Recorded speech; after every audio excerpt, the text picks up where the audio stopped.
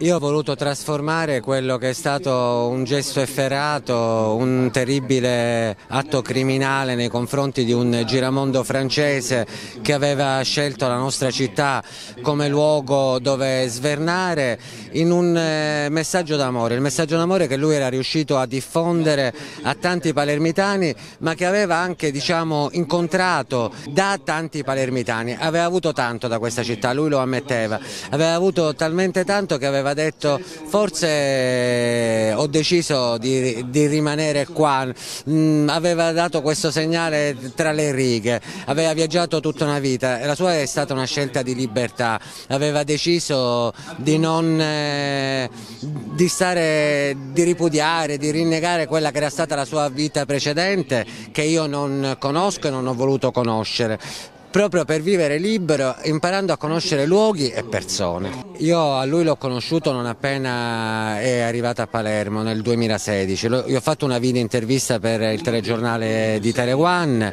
e da allora poi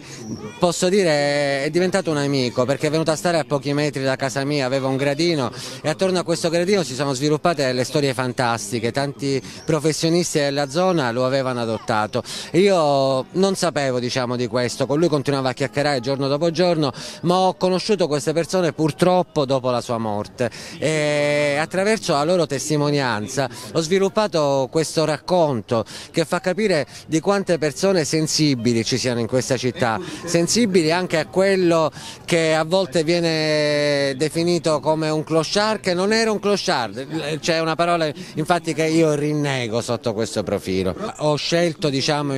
in modo consapevole di devolvere promuovere la parte destinata all'autore, agli Angeli della Notte, che è un'associazione di volontariato che si occupa dei senza tetto in città, dove ho fatto io qualche anno fa anche il volontario, ma che ho continuato a seguire nel tempo come giornalista. E al Gattire di Palermo, ad Edica, quello fondato da Paola Narzisi, proprio in onore anche di Elios e dei tanti gatti che hanno bisogno di una marcia in più per riuscire a sopravvivere in una città a volte difficile come Palermo.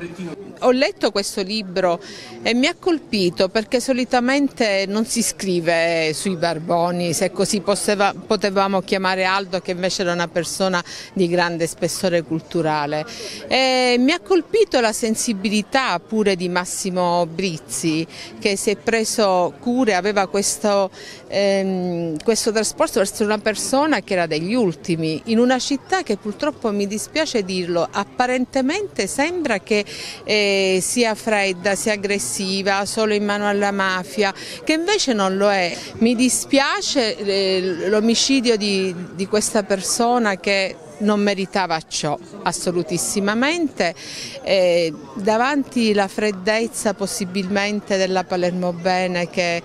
eh, si è resa conto che era un essere umano solo quando è morto. Però questo mi ha fatto anche riflettere che c'è anche tanta gente sensibile mi dispiace che non è con noi e dedico una parte di questa giornata ad Aldo perché lo merita, lo merita ed è morto, dico, non nella sua città ma in una città che amava che l'aveva fatta sua. Quindi un po' tutti noi palermitani dovremmo prendere esempio da, da Aldo ed amare la nostra città.